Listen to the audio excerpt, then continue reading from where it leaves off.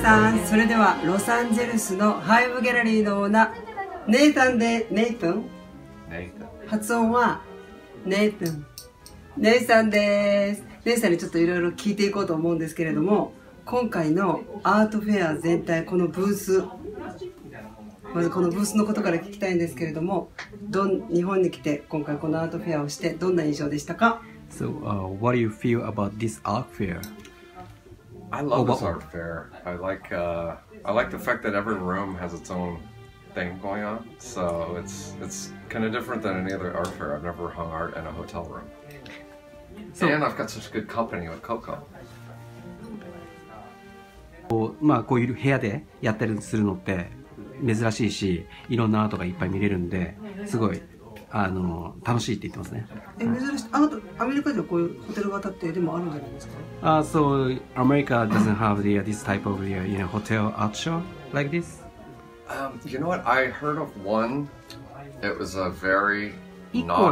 一個は聞いたことあるけれども、うん、でもそれはどうなのかなみたいな。全体作品いろいろありますけれども、日本のバンドエッジギャラリーの作家はどうでしたか So, uh, we have a lot of art pieces, you know, in this room and uh, what do you, how do you feel about the uh, band age uh, art? I, I love our. Uh, we definitely have similar tastes in our Mm. art. I think that to me, this is uh, this is the most live gallery room in the whole show. そういいろんなそういう似てるようなテイストがあるからすごいそれがもうお互い生きてるみたいな、うん the art feels very alive, very real, very happening, very new. No one is trying to fit in to anything but themselves. So this, I feel the art spirit in here. So I love art そう collab. もう大好きでアートスピリットもそうしたしすごいもうライブでもう生きてるわもうバン And I'm, I'm so excited. I mean, to meet these new artists like uh, Coco and um, そう、本当に excite してる？もうここにも会えたし、う、ここもいるし。こうやって日本のローアート、ローブローと、姉さんがいつもアメリカで扱ってるそのローアート、ローブロー、日本とアメリカの違いみたいのって、姉さんはどんなふうに感じてるのか、ね。So, uh, uh, you know, ローブロー、uh, LA has a lot of, you know, history about ローブロー、and Japan is not as much as, you know, US right now.、But, uh, what what do you think about the differences between Japan Loblo and US Loblo?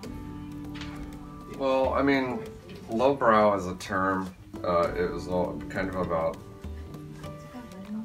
types of art in the world that we all have grown up with, that we all see and interact with, um, that uh, are just part of popular culture, like tattoo art, animation, and manga, and so it's kind of just a broad term, um, and um, I think generally if something is lowbrow, it's lowbrow. So uh, I think each artist is supposed to find their own vision. So I wouldn't think of a lowbrow Japanese artist as different than a lowbrow American artist.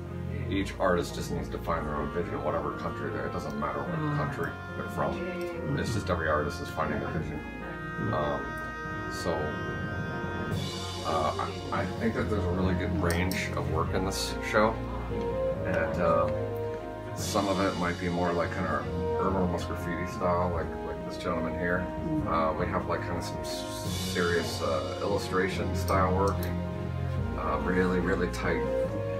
Um, my thought would be that in Japan it would be more tiny and tight But it's, it's funny because I kind of brought the more really tight stuff, and then the the Japan like lowbrow style that's here that was showing, it's more painterly. ちょっと長かったんで省略して話すと、はいまあ、ローブローはその タームに過ぎない言葉に過ぎない一つの言葉に、そうですね。ジャンルそう。で、えっとまあ、国どことか関係なくアメリカだからと関係なく日本とかそういうのじゃなくてそのアーティスト一人一人がそのビジョンを自分で作っていくっていうことだから本当に国とかそういう場所とかは関係ないって言ってます。うん。まあ、じゃあ言い方変えると、うん。まだまだ日本っていうのは私たちみたいなスタイルはちょっと NG 受け入れられないところが結構ある感じなんですけど それはなんでかなっていう。Uh, so he thinks that the uh, you know in Japan, uh, low blow this type of art is not like uh, accepting by the uh, you know a lot of people. So she's wondering why this type of art here is not like you know because the uh, United States and not people are accepting much as you know U.S. people. Um, as far as like acceptance of lowbrow, even in the United States, it takes a long time. It's it's almost like the im- the impact point, the, the, the place that it started was in the United States. So you're going to have the most following there, and then it just starts to spread. So every art movement that has ever happened is surely going to have its most impact where it starts and then it spreads out. And there are really really big lowbrow artists call it popserialism. So, uh, so popserialism like is like it's over into popserialism. I'm trying to. I don't know. They want to clean up the name or whatever, but uh, it, it, they're all kind of similar in a way with what they're doing. It's a lot of type painting, a lot of illustration style stuff, um, using pop like, pop images and uh, putting creating new. Uh, applications for them. But uh, yeah, um, I'm not, you know, from Japan, but what I do know that there's such a rich history of old crafts, calligraphy, you know, calligraphy, kanji, um, ceramics, and I think in this culture, that's generally going to be the first number one. Uh, for everyone in this society, they're going to like that probably first. And then the weirder the art gets, the different, more weird it gets. It's going to just take a little bit of time because this is a very traditional uh, art scene, I think. Uh, but I mean, this art fair in particular, there's a lot of really cool stuff. I think that uh, it branches into a lot of different areas. Um, and uh, so it just takes time. やっぱりその一つのそのアートのことが始まるとこ時って、まあ、やっぱ時間がかかるだからアメリカでもそのロブローがすぐパッてなったわけじゃなくて、はい。やっぱ時間をかけて、うん。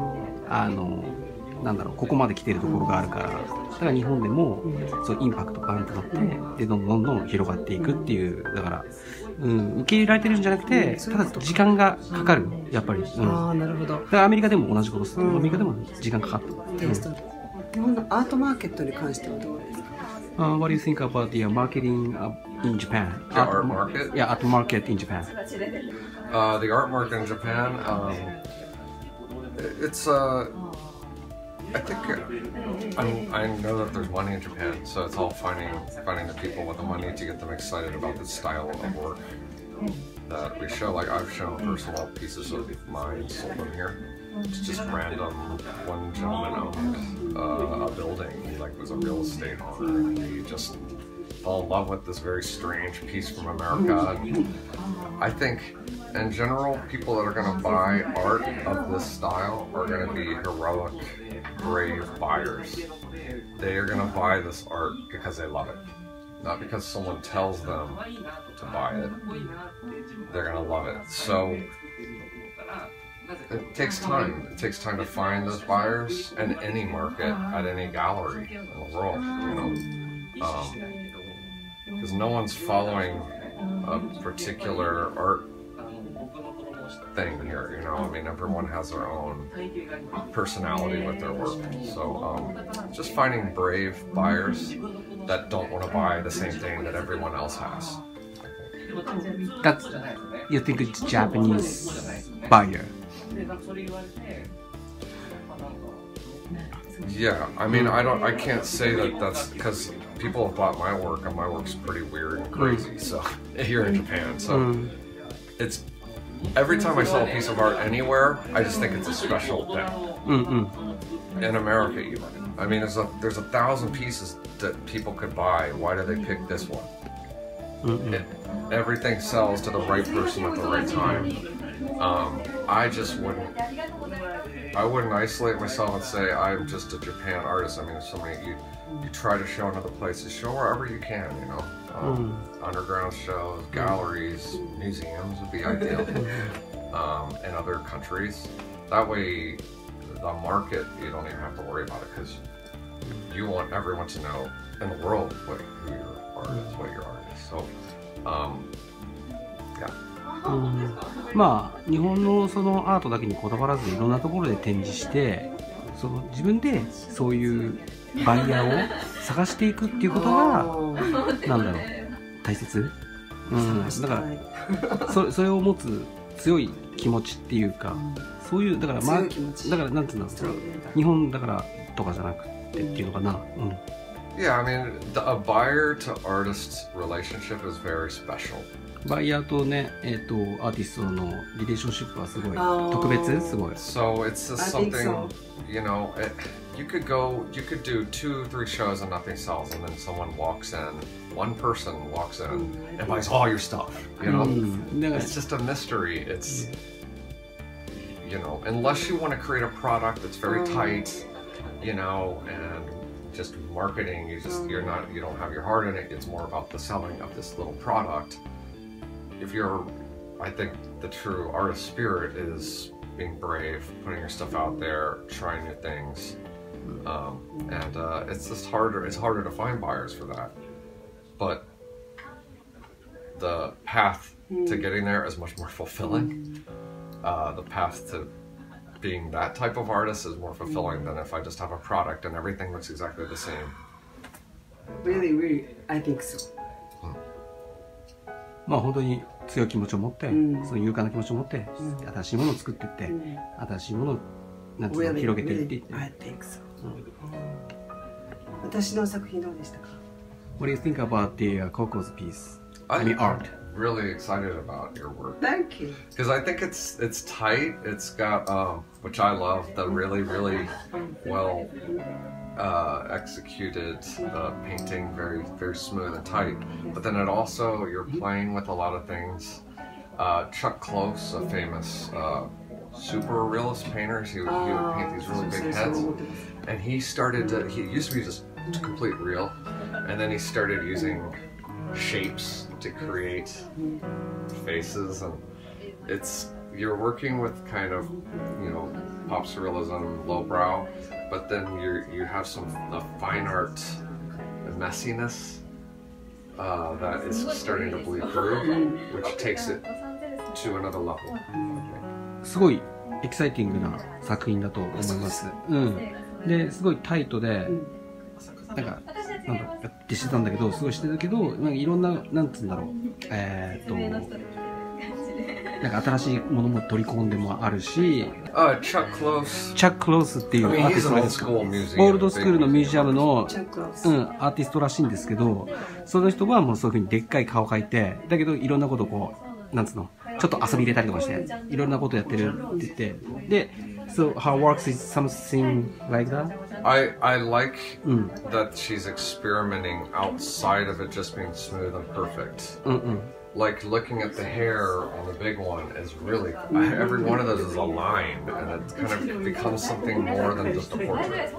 うんうんうん、そう Like, そのラインとか it's も the- 髪の毛のラインとかもすごい綺麗で And the stamping. であとスタンプあのそうそうとかやいろいろそういう珍しいこともやってるから新しいこともだから単なるポートレートじゃなくてそれがなんか違うものにな Oh, って thank you. So it starts to kind of じゃあ強い心を持った私もバイヤーとか出会えますかあの so、uh, if she have a brave heart then she can find like barriers yeah, yeah. And I think that you're evolving and it's I can see I've looked at your books and just seeing it change and you're not afraid to experiment, which is the most important う thing. んそう重要なことはその なんだろうエクスペリメントすることに恐れないで分かったどんどんどんどん分かりましたそう思ってハイブにも行きます Well, yeah, she understood. Then she wants to go to the hive with that Oh, yeah. passion.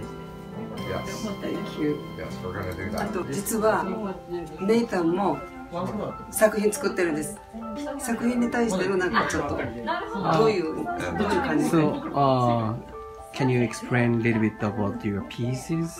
Uh, 違うじゃんって思って戻ってきていただけるのっていうか This, this, I, this is a different series. I, I just created a resin frame that I was able to sculpt different things, and so these are all pieces about transition and change and evolution. So そうこの作品は everyone- トラジションとか、えっ、と、エボリューションとか、まあ、進化とか、えっ、と、 tradition, Oh. evolution, and なんだっけ What is that? An evolution evolution uh, as a person. so, um, みたいなのをやってる。普段、普通、普段のシリーズとちょっと違う。今回はね。はい。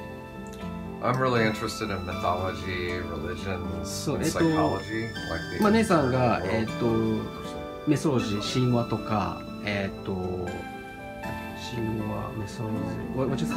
メソロジー。サイコロジー、サイコロジー、心理学、religion, 宗教とか、そういうのも興味あって。And the things that move 全部含めてアートですもんね societies. そうそういうのを、まあ、表現したいっていう。うんでそして最後に全然アートと関係ないんですけど、LGBT についてあ、so what do you think about the LGBT? I think it's getting a lot more recognition. I mean, around the world. あ、もう世界でだんだんだんだん認識されてきてることだと思うんですけど。 I mean, it's very normal to hear it in LA, but I had no idea. そう、LA だったら全然ノーマル、そういうことは全然聞 I く was の。 surprised. I was like, "Oh, did she say that? I, I didn't know it wasn't even known here. like, I didn't know it そう was だから like." ちょっと聞いた時びっくりした。なんか日本で。 Yeah, I just thought you were doing what you do, and and uh, I think it's nice that people are sticking together, and um, if people are talking about it here in Japan, that means it's going to be more accepted and more. Um, うん、そういうふうに日本ってこういうふうに話していくことによって日本が受け入れられていく。うん。 私ココアートチャンネルでアートと関係のないいろんな動画を作ってるんですけどそのこと日本では結構ダメだみたいな感じで言われたりすることが多いんですけどアートはアーティストはアートだけだって言われるんですけどそれはにつついてどう思いますか Okay, Nathan. Uh, so uh, she has a Coco channel, and uh, she's not only talking about art, and she's doing something else too. Uh, Oh, okay. But people think it's not cool for artists. It's not. It's kind of bad for artists doing that. doing So, what? Being Doing the uh, not talking about art. So she's doing the cosmetic stuff, Yeah. you know. So, but people don't like it because she's an artist. She should be talking only art. That's what people thinks here. So, what do you think about that thing? Well, I mean, it works. I mean, you have people person. うそう人ね人々があなたのことをね人として好きだから別にそれは問題 Wow. people buy art. Okay, so if you come in here, there's how many artists showing in this room? そうこの部屋に来て Like 20 artists, な30何人のアーティストが今展示してますか So when people, I mean, this is just uh, about buying art, but people buy art not just because of the art of school, because there's a lot of cool art in here, there's a lot of great art. They buy the person. They buy the person, mm. personality, because, yeah, so everything about you is important. And you're not afraid to be yourself A lot of people might be afraid or they might be closet or whatever. Like, you're not afraid to be yourself. Your own personality. うん、でまああなたは恐れてないからはい恐れてないうん分かってるそうだから I mean, you're wearing your art, you know? I mean, this is amazing. そう So, 自分のアート着てる部分すごいね Thank you. 素晴らしいし Thank you very much. my pleasure. あれあ OK ですかまだ回ってますか待ってます Oh, my uh, Instagram 彼のインスタグラムは今説明した通りですね「キあの姉さんの YouTube チャンネルもすっごいファンキーですごいクレイジーなそんな姉さんのギャラリーの YouTube アドレスも下の説明欄に貼っておくのでよかったら皆さんもご覧ください。Thank you 姉さん。Thank you very much ありがとうございました。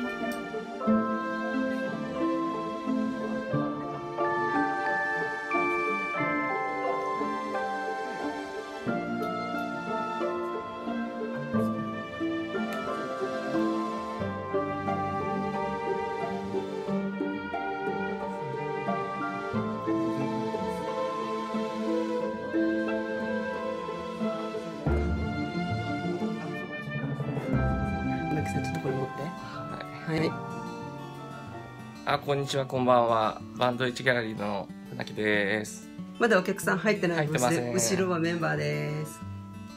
メンバーも映しておきます。メンバー手を振ってください。一番奥の方はあのアーティストのマネージャーというかプロデューサーっていう感じの方なんですけど、はい、ちゃいましたね。恥ずかしがり。恥ずかしがり、えー。営業マネージャーだったっけ？なんかそんな感じそうですね。 B and H ギャラリー、あの以前も B and H ギャラリーのメンバー募集したんですけどはいちょっとねまたどんどん募集しようかなと思ってるんですけどそうですね。えっと今見ていただいたように僕たちはアメリカの西海岸を中心に、えー発祥したと言われているローブロアートを、えー意識して制作している作家を中心に集めています。で今回は、うん、とその本場のローブロアートと僕たちがやってる日本でのローブロアートっていうのを距離感を測りながらえー、と皆さんに見ていただけたらなということで、えー、と一緒に並列して、えー展示するっていう試みをしました、えー僕たちがやっていることは少しでも皆さんに伝わ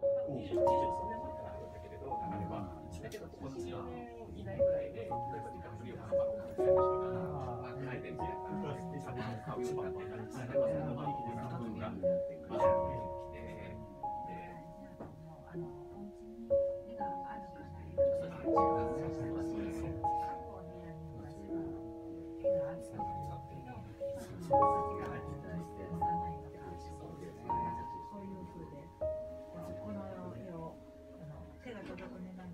しか。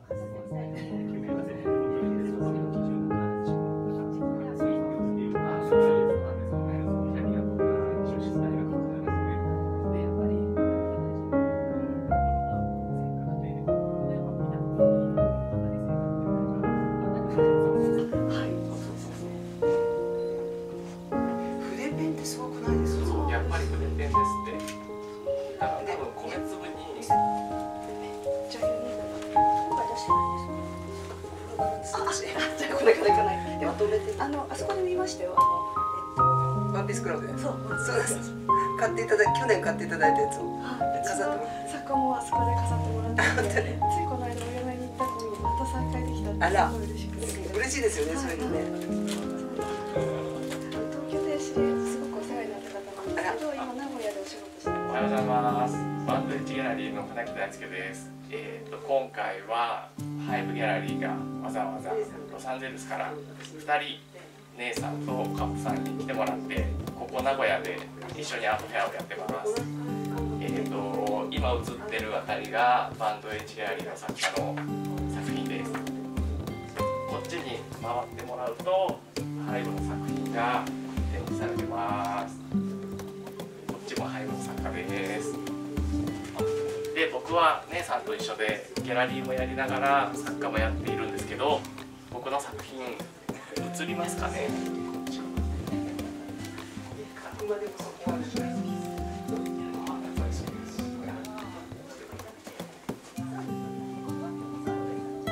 の姉さんと私で立体作品を作ってます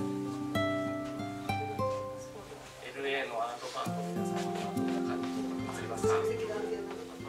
また Facebook とか Instagram でチェックしてみてください。バイバイ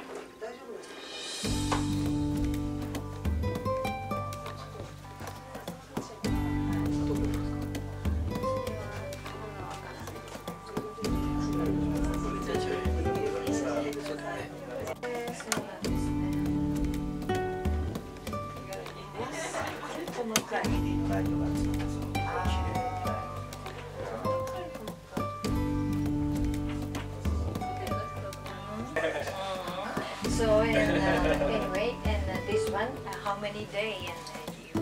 Um, so I, with that one meeting, it pretty fast because they're smaller. Mm -hmm. And I, I basically, sorry, I, I used uh, iron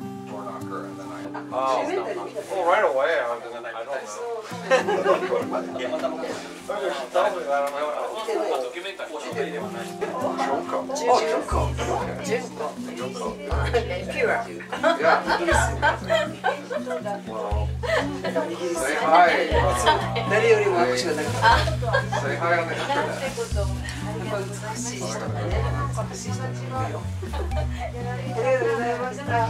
子 Pure Yeah. Well, say hi. 誰よりも握手がだあ頭の脳をインスタグラムから発展してここに作品載ってるんですよねそういう作業なのでインスタグラムちょっした鑑賞者の脳まあなんか最初傾向が分かるぐらいなので多分いいですわちょちょっとずつなんか結構変わってきてる有名なここ最近変わってないそれではめちゃくちゃ変わってるんですよねわかりました拝見させていただいてあの電話したしますねはいタ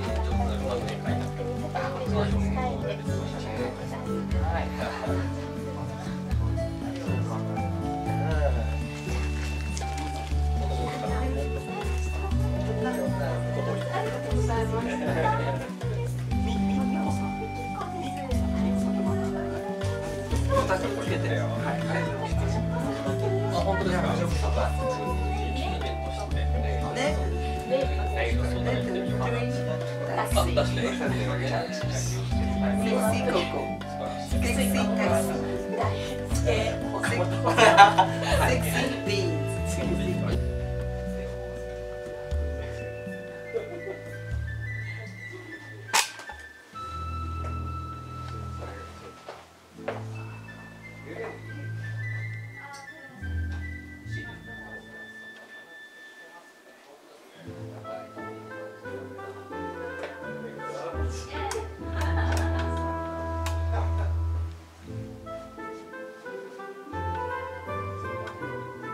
taxis. I've entitled this piece Three Taxis. three taxi. Three taxi. Yeah, it's the three taxis game. Coming into town, the three taxis game. Three taxis. Three taxis. Okamoto Daiki-san. De. Ah, 岡本大輔さんです。あ、こんにちは。こんにちは。こんにちは。They call themselves the three taxis. yeah, where's my three taxis?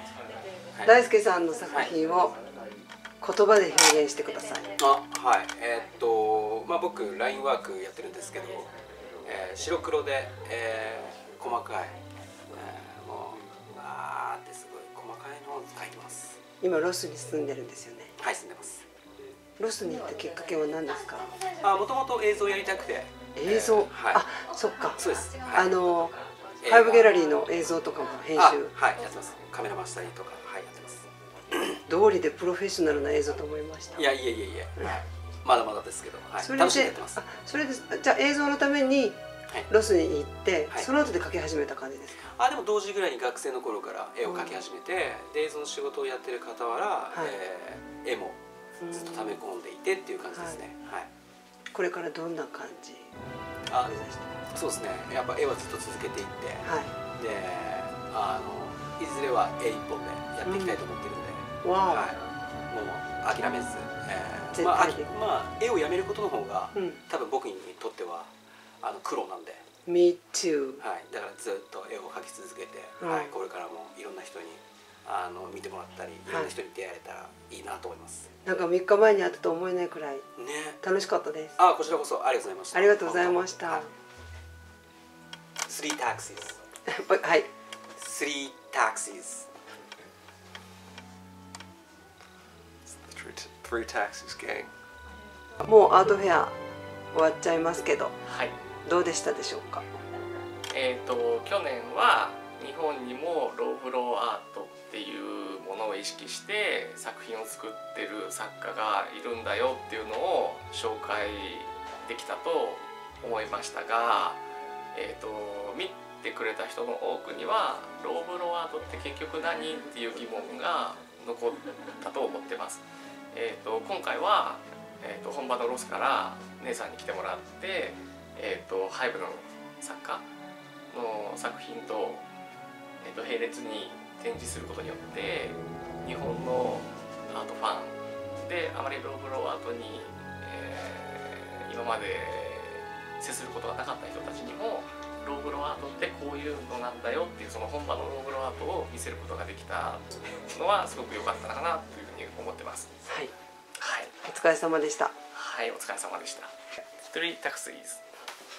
カテキンさんでようこそカテキンワールドへ。す カテキンさん今回初めましてでしたけど、はい。もうあっという間にはい。アートフェア終わっちゃったけどはい。どうでしたでしょうか？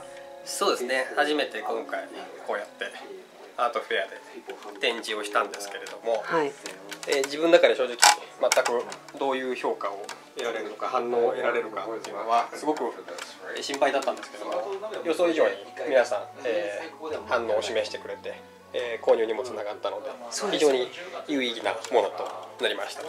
はい。いつも筆ペンでそうですね。筆ペンでやってるんですけど。その筆ペン見せてもらっていいですか、はいはい。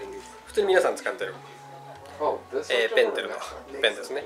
はい。これで書かれてるんですよ。はい。細かい世界。そう。なんです、まあ、なんで筆ペンだかっていうのは、はいまあ、細かいのを書きたいわけじゃなくて、まあ、はい。細密画っていう感じで書いてはいるんですけれども、はい。別に細かいものを表現したいんじゃなくて動物とか植物っていうのが僕の中では最高の美だと思っていまして、はい。生きては死んでまた生まれるっていう人間では作り出せないはい。サイクル、それを動植物の良さとかっていう美しさを表現するためにこの筆ペンだといびつになるんですね。やっぱ細胞とかも単純なまん丸ではなくて、えー多少震えてたりとか、えー丸でも歪んでたりとかっていうそういう、えーいびつさ、えーまあ、生命への説得感っていうのがこの筆ペンを使えば、えーできるのでそれで筆ペンを僕は選んで、えー制作をしています、はい。最初びっくりしました。ありがとうございます。え筆ペンみたいな。そうですね。日本だとまだ筆ペンを使ってこういう細密やってるっていうのはなかなかまだいないですね。ちょっと映像ではなかなか細かいところまで撮れないんですけどカテキンさんの作品を見ようと思ったらどうしたらいいですか？ぜひ生で僕の絵をご覧ください。インスタとかは？インスタグラムやってますんでね、えっ、と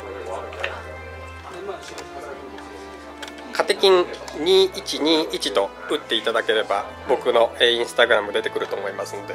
なんでカテキンなんですか？僕静岡県の出身で、はいあ家のそう家の周りがもうお茶工場ばっかなので、はい。あの静岡を代表じゃないですけどこれから背負って立って世界へ羽ばたいていくためにレペゼン静岡を意識するために僕はカテキンという名前でやっております。できると思いますありがとうございます、交なんか覚えやすいですよね。そうですね、はい。海外の方でも呼びやすいと思いますので、ははい。い、今後期待ください。初めてだったのに。はい、疲れてないですか？めっちゃ疲れてますね。帰り運転で帰るの心配です。お疲れ様でしお疲たれ様でした。またお会いしましょう。はい。それでは最後に3 two, one, Three taxi あ three taxi. もう一回お願いします。Three. イエーイ。ありがとうございましたそう、あの、そう、えっと、ただ普通にもう自分をこう、見といてするこんにちは、みたいな、ここで先にやつみたいなまあ、いつもやってたみたいなです。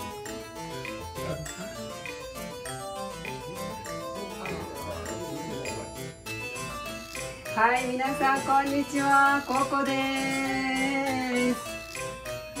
私は大体こういう子供を描いてるんです。日本語で大丈夫？私の作品は大体子供です。こういうところ大体こう日本のスタンプ、ハンコを使ってます。たくさん。現代社会とか私が本当は私は男性なので女性になって本当は子供を産みたかったその産めない思いを作品で表現してますだから作品は私の子供です